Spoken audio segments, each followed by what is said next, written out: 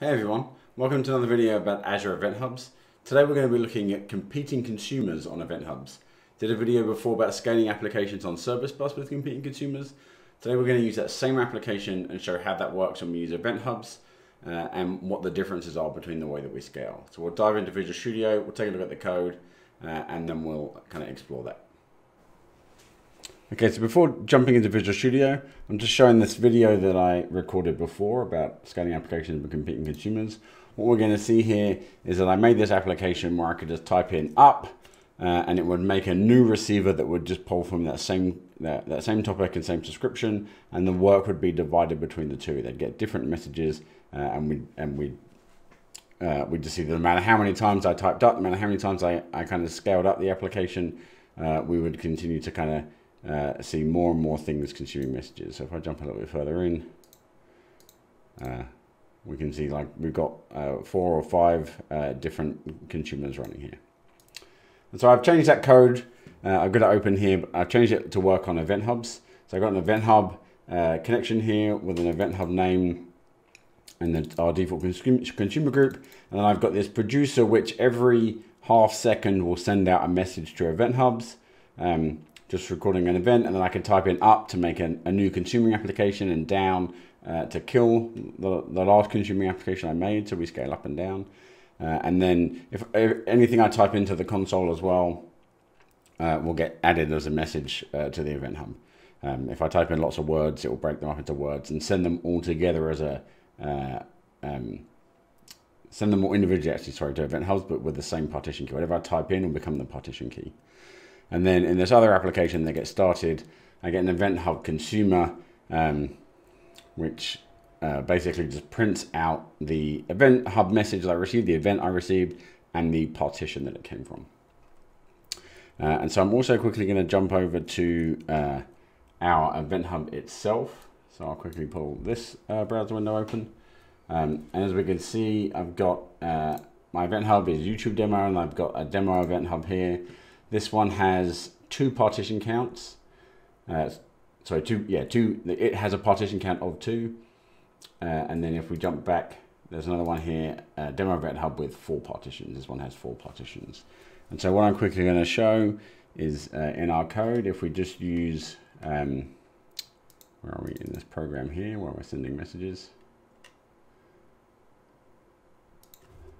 I'm to grab this uh, make it so we're just using demo event hub at first, which has two partitions, and I'm going to start the application.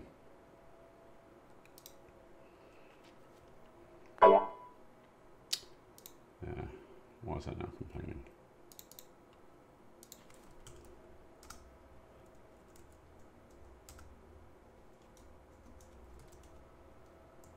Change that. I change the namespace.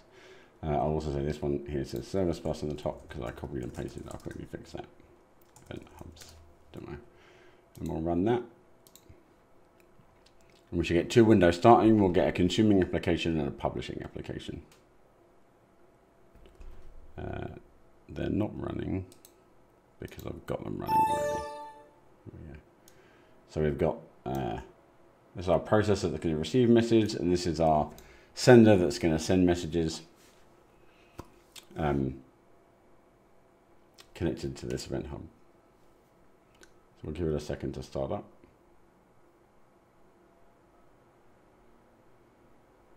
There we go. So we started to receive some messages now. Uh, what I can do is I can type up and start another consumer. And so what we started to see here, um, I'll kind of pause these by selecting them so we, we kind of freeze them for a second. This one started up and just started consuming from partition zero, and this one started up and started receiving from partition one. And that's kind of both partitions taken actually. So if I hit up and start another one, both our partitions have been allocated to a consumer.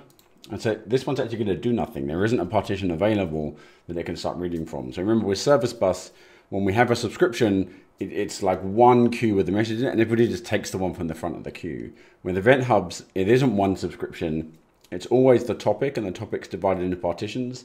And so messages are just written to the partition, and all the consuming applications do is read one by one through them, remembering how far through that they went. They don't actually acknowledge individual messages. They just say, this is how far I got. And so we can't actually um, scale out past the number of partitions that we have. What I could do is kill this consuming application one. Uh, and then what will happen is periodically Event Hub will check to make sure all the consumers are alive and rebalance the partitions.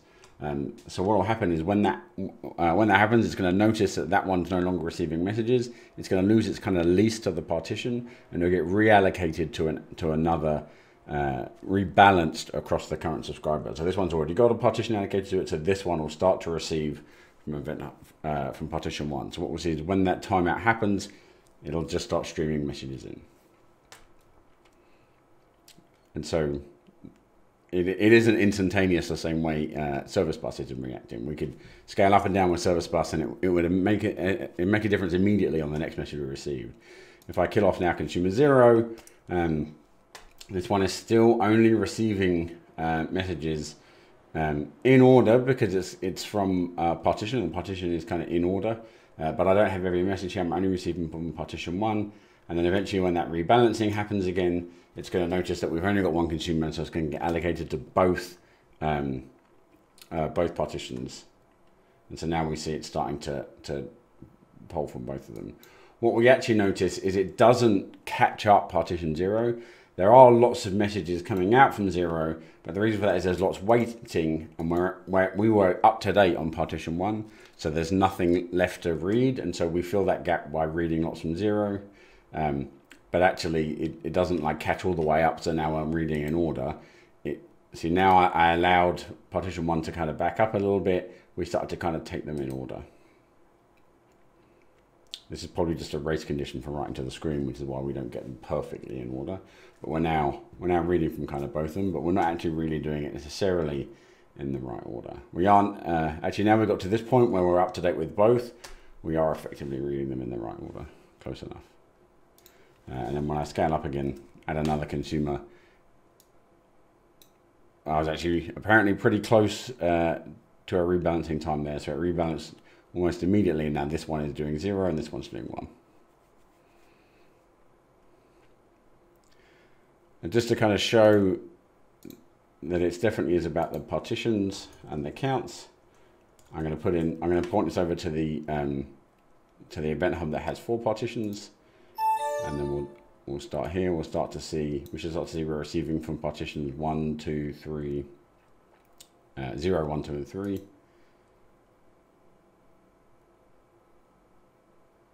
So there might have been leases uh, on here. So we've, we've now got 1 and 3 allocated to this here. But I can scale up uh, and start another one. That's taken on 0 and 2. I'll scale up again. This one's now, this one now owns 2. Oh yeah, so I've got zero. This one's one and three, and this one's two. And if I scale up again, this one should eventually take over. This has taken over one, so this one here will now only write out uh, from three. And then one last time, scaling up. I'm to get my consumer that can do nothing because all the partitions have been allocated. It's got nothing left to read. There, it is still beneficial when you when you build event hub applications. It is still beneficial to start more consumers than you have active partitions. So here I've got four partitions. Uh, I would probably say I want to have five readers open. The reason being, one of them is effectively serving as a hot backup. It's ready, it's connected, and the next time there's a, a kind of leveling algorithm run it, and, and one of these has died, it'll be ready there to help pick up the slack. Um, but you cannot infinitely scale readers from, from event hubs. And so it's really important when you when you build your event hub infrastructure that you understand how you're going to scale there's a bunch of different ways that you can kind of work that stuff out. Uh, it might be that you produce 10 events a second and each event takes about a second to process whatever it is you're doing with it. In that case, you need at least 10 partitions in order that you can scale out to keep up with the events that you're producing. Uh, it might be that you um, you uh, are, are, sending orders in or, or, or, something that's correlated to, to customers, at which point the customer ID will probably become the partition key uh, and then you don't necessarily um, you don't like you don't necessarily mind which partition customers end up on as long as all the ones for one customer end up on one partition or all the messages for another customer end up on another. And then it's really thinking about how are you going to be able to scale it um, what's important in terms of the kind of concurrency. Maybe it's the, the, the downstream systems the things that your event consumers have to interact with what's their scaling capability.